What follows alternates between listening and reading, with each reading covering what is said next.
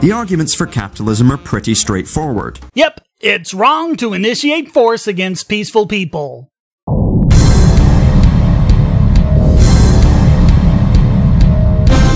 Forget scientific evidence. Just memorize the vague, baseless presuppositions considered to be so-called common sense, and you'll be fine. you know, it's as if I never made the video Libertarianism and Property Rights from First Principles. Link is in the description. We have a solid deontological basis for our viewpoint. Where's yours?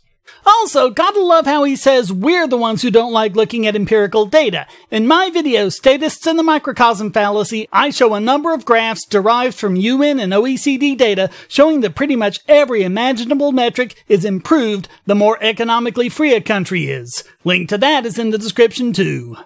I'm also linking to a couple of talks from Austrian economist Tom Woods, applying economics to American history and Keynesian predictions versus American history. All of this should make it clear that it's not we who don't like looking at scientific and empirical data. I'll be showing that throughout this video. Who wants to bet this guy won't show any at all, or if he does, it'll be cherry picked and based on economic fallacies? Let's watch and find out.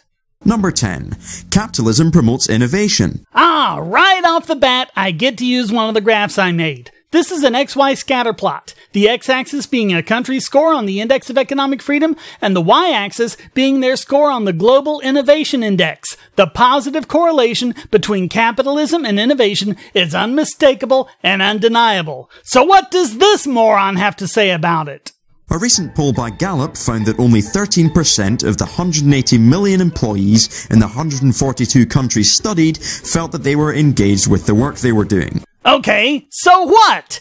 How does that statistic speak against free market capitalism? All of those countries would have had varying degrees of capitalist and socialist policies. If you want to make the claim that capitalism works against it, you have to do what I did. See if you can find a correlation between your metric and how economically free the country is. You didn't do that. We are more than capable of providing basic education for everybody, but due to global economic inequality, this just doesn't happen. Let's assume you're right about this. Again, how do you blame capitalism for this? Let's look at how capitalism affects income inequality measured as the ratio of the richest 10% to the poorest 10% according to the UN's Human Development Report. Notice that this ratio tends to be lower the more economically free a country is, meaning that you get less income inequality with more capitalism. And the same is true with wealth inequality as measured by the Gini coefficient. So if this is a problem, then the solution is more capitalism, not less. If capitalism promotes innovation, why are vast numbers of people being needlessly deprived of the means to innovate? Simple, because there are too many socialist morons like you out there getting in the way of it. Why didn't you even try to look at how different this is between countries that are more capitalist and countries that are more socialist? I'll tell you why. Because it would have shown that it's socialism that causes these problems, not capitalism. Not only that, but education under capitalism typically involves destroying creative and critical thought and training people for the mindless obedience of the workplace. Oh, really? Then how come pretty much all of the educational systems in these countries are run by government? You took something the government has pretty much monopolized and blamed it on capitalism. Does it get any more dishonest than this? Well, it just might if we wait. Number 9. Free markets increase economic development. This is false. No, it's not, as you can clearly see in this graph comparing the Legatum Prosperity Index to economic freedom. Lower numbers are better, and they get better the more economically free a country is. Again, the correlation is unmistakable and undeniable. The IMF, World Bank, and World Trade Organization shove free markets down the throats of developing nations. Oh, if only that were true. No, these are instruments of hideous government regulations. The IMF is a tool for bailing out failed socialist economies like Greece. The World Bank helps cover massive deficits in developing countries, discouraging fiscal responsibility. And the World Trade Organization is about as anti-free market as you can get, inhibiting free trade and engaging in political interventionism and protectionism. Ron Paul has spoken out against the WTO, as has the Ludwig von Mises Institute. Links are in the description box. Really, you'd be hard pressed to find a libertarian who likes the WTO. By the way, how do you shove a free market down someone's throat? We're gonna force you to do things the way you'd like to voluntarily. Gotta love the weasel words. Why do socialists always have to pretend that a voluntary exchange mutually beneficial to both parties is somehow force? Take Latin America and Sub-Saharan Africa, for example. Yeah, cause those are real hotbeds of free market capitalism there. Despite giving credit to the market, a lot of the technological advancements we enjoy today, such as the internet, actually originated in the state sector. Oh, how many times do we have to debunk this? This time I'll just link to an article by internet and security expert Robert Graham explaining why this is fallacious. Number 8.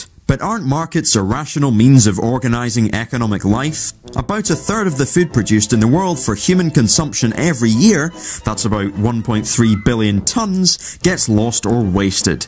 Meanwhile, starvation is rampant and where is starvation rampant? It's not in capitalist countries. It's in socialist hellholes like Venezuela, North Korea, or many African countries. They're starving because their corrupt central managers won't let food be imported.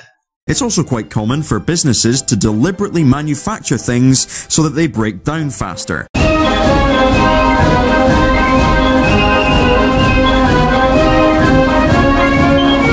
Keynes predicted in 1930 that by the turn of the millennium, technological innovation would result in a 15-hour work week. This is technologically possible, so why aren't we working 3-hour shifts? We probably could work a 15 hour week if we wanted to live like people did back then, when not many houses had a TV, refrigerator, or central air. And forget about things like computers and smartphones. We decided we'd rather live in resilient stick built homes, not the brittle cinder block homes they built back then, and have the comforts of central a fully stocked fridge, a computer with broadband access to the internet, a modern energy efficient car, and lots of other things that people couldn't even imagine having back then.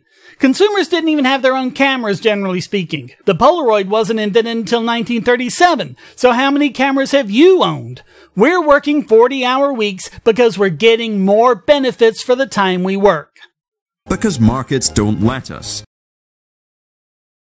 Instead, we find hordes of people doing bullshit jobs, the wages of which will most likely be spent on bullshit products that people have to be made to want. Listen to the arrogance of this guy. Like all authoritarians, he's acting like his own subjective opinion is the one true objective fact. But who decides if a job is bullshit? If it's bullshit, why is someone willing to give up some of his money to pay you to do it?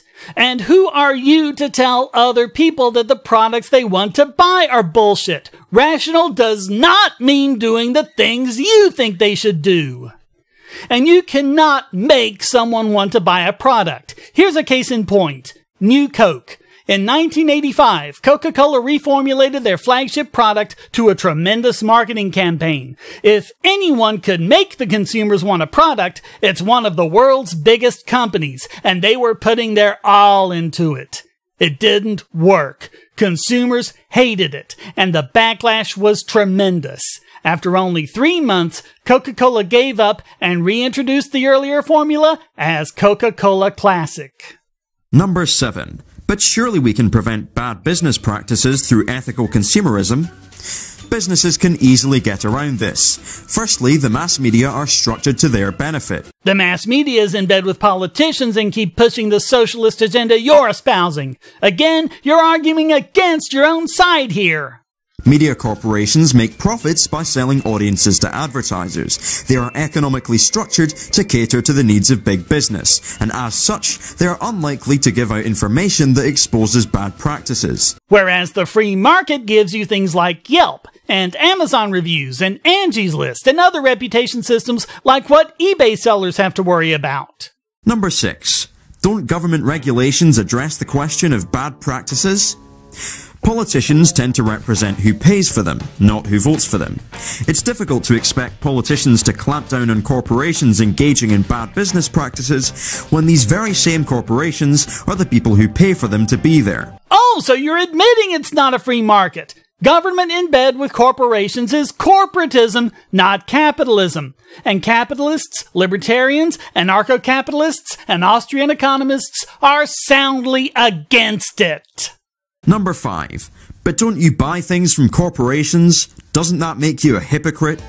This is like saying you can't drive a Volkswagen Beetle without being a Nazi, or that you can't use the Moscow Metro without being a Stalinist. That's fucking asinine.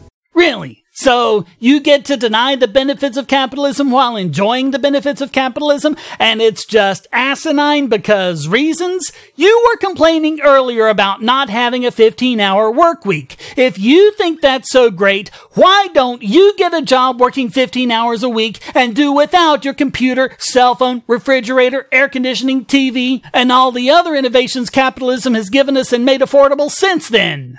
Number 4. Capitalists put risk into their businesses. Surely they should own them. Although mildly challenging at first, this still fails. There's no doubt that the Nazis must have put a vast amount of effort into their actions when rising to power.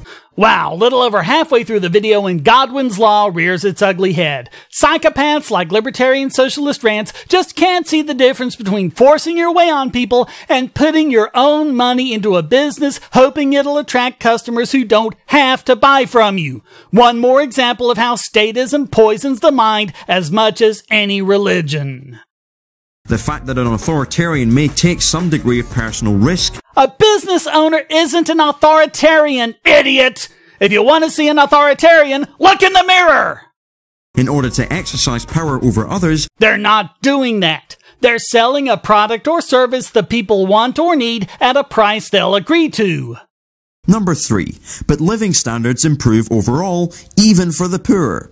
This is an old chestnut. No, it's established economic fact. If you think it's wrong, then why don't you point to one comparable time period in world history where the economic conditions of the poor and working class increased at the rate that it did in 19th century America? There were improvements in living standards in slave societies. Living standards improved for the Germans under fascism. Living standards improved under Stalinism. But what rate did they improve at? That's the point. Is that an argument for fascism or Stalinism or slavery? No. All of those systems are based on an initiation of force. Capitalism is based on a rejection of that, where the only legitimate transactions are voluntary. The more you ignore this, the more desperate you show yourself for any valid criticism of capitalism.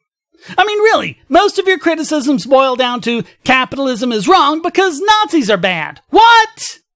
The worker cooperative sector in Argentina is continuing to expand, involving almost 20 million people. People whose lives still aren't improving as much as they are in Hong Kong, the freest economy in the world. Number two. But capitalism is a result of human nature. This is another old chestnut. Humans have existed for 200,000 years, whereas capitalism has existed for 200 years. Wow, really?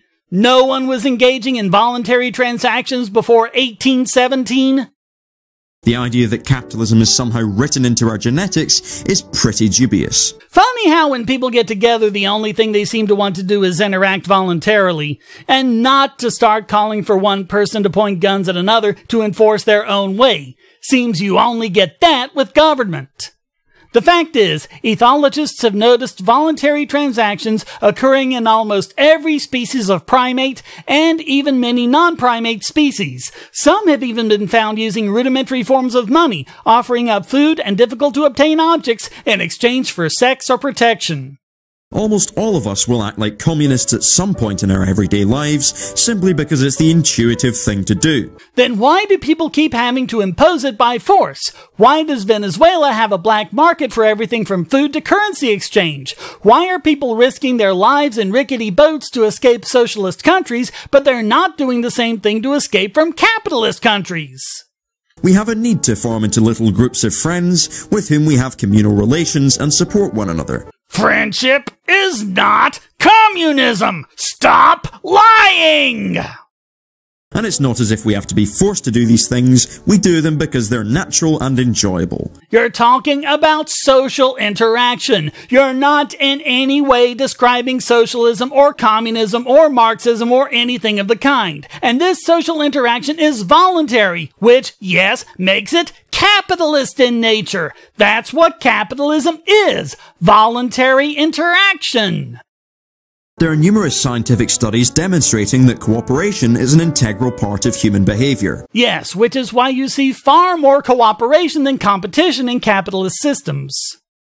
If competition is so natural, why is there any need to have an education system designed to forcefully nail so-called competitive values into the heads of young children with a natural sense of fairness and justice and teach them to hate each other? It does the exact opposite, liar! It was socialists like Edward Bellamy who established our schools to indoctrinate children into socialism. This is a matter of easily confirmed history. All you have are lies! Number 1. Capitalism is the only system that's possible. There is no alternative. If you convince people that capitalism is a completely irrational and destructive system with devastating consequences for humans and their environment, and they've run out of all of their other excuses, this is what they'll come up with. Mr. Strawman, give me a break. It's not there are no alternatives to capitalism, just that the alternatives suck. Like Venezuela, a country with a fertile soil and year-round growing season that was one of the world's biggest exporters of grain. Then a much applauded system of modern 21st century democratic socialism was put into place, and less than 20 years later, starvation as opposed to Hong Kong, which is basically built on a rock, but in just a few decades of being the world's freest economy, went from a place of slums to a modern powerhouse of commerce. A study published in a journal called Ecological Economics suggested that our civilization is headed for irreversible collapse due to mounting economic inequality and environmental destruction. We've seen how capitalism reduces inequality, now let's look at the environment. Like our other metrics, we see a clear and undeniable correlation between economic freedom and the UN's environmental score. Even when we look at specific indices, like the UN's annual mean PM10 measurement of air quality, we see improvements with economic freedom. The need for social change is very clear, and alternatives are in fact possible. The empirical data that you don't want to look at show that the alternative we need here is capitalism. That's why, yet again, you didn't even attempt to see if it was capitalist or socialist countries who were the biggest offenders here. By alternatives, I do not mean some centrally planned Leninist state. Actually, yeah, you do. You just don't realize it or want to deny it. I mean libertarian socialism. Another oxymoron! In which the workers, not the government, own and control the means of production. That means the workers are the government. Because what do you think would happen when someone who isn't a worker tries to own something? They're gonna come in and use force to stop him. They may as well put on the jackboots right now. In a capitalist system, if you think that workers should own the means of production, then set up your factory to work that way. No one will use force to stop you. What you don't get to do is use force to make other people conform to how you think they should be doing things. But that's exactly what you're talking about. The anarcho-syndicalists of the Spanish Revolution managed to create a working alternative to capitalism, taking the Spanish economy under worker control, expanding the healthcare system, and improving literacy rates. You're talking about a period of three years. It's not difficult to make short-term improvements after a civil war. Even a mere regression to the mean would do that. Things appeared to be going well in Venezuela for over a decade, which is why as recently as 2013, socialists from Bernie Sanders to Joseph Stiglitz were pointing to it as a prosperous example of successful democratic socialism. Less than three years later, less than two decades after the great Bolivarian revolution that put Hugo Chavez in power, it all collapsed, resulting in poverty and starvation. That's the thing about socialism. It always looks great at first when you can ride on the coattails of what came before. But then you start running out of other people's money, and that's when it all starts falling apart, just as Ludwig von Mises described. This video was created at the request of one of my patrons, Hugesinker. And if you'd like to request a video for me to do, just become a patron at the $2 level. And if you enjoyed this video, remember to hit like and subscribe. And you can also support this channel by using the links below to donate via PayPal or crypto.